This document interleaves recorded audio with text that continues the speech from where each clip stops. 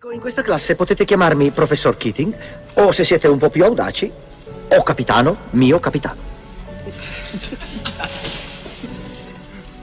Ora dissiperò alcune voci così che non inquinino i fatti. Certo, anch'io ho frequentato Welton e sopravvivo. Comunque, a quel tempo non ero la mente eletta che avete di fronte.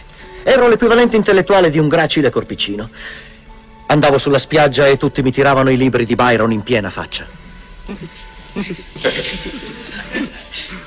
Allora, vediamo. E ora, miei adorati, imparerete di nuovo a pensare con la vostra testa. Imparerete ad assaporare parole e linguaggio. Qualunque cosa si dica in giro, parole e idee possono cambiare il mondo.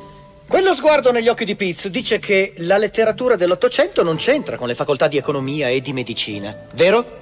Può darsi. E lei Hopkins è d'accordo con lui e pensa, eh sì, dovremmo semplicemente studiare il professor Pritchard, imparare rima e metrica e preoccuparci di coltivare altre ambizioni. Ho un segreto da confessarvi, avvicinatevi. Avvicinatevi!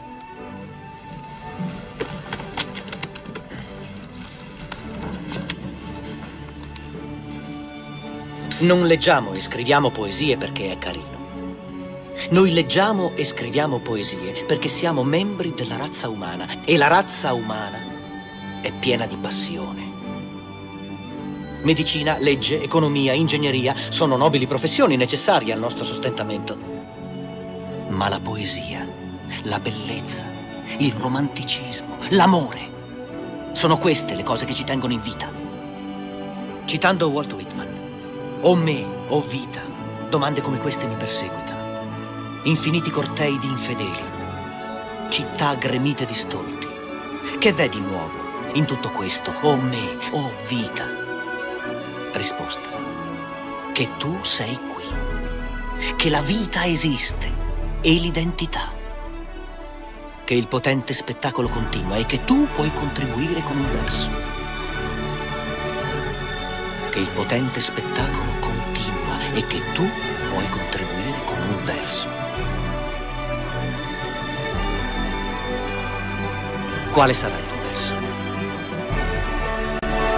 Cogli la rosa quando è il momento.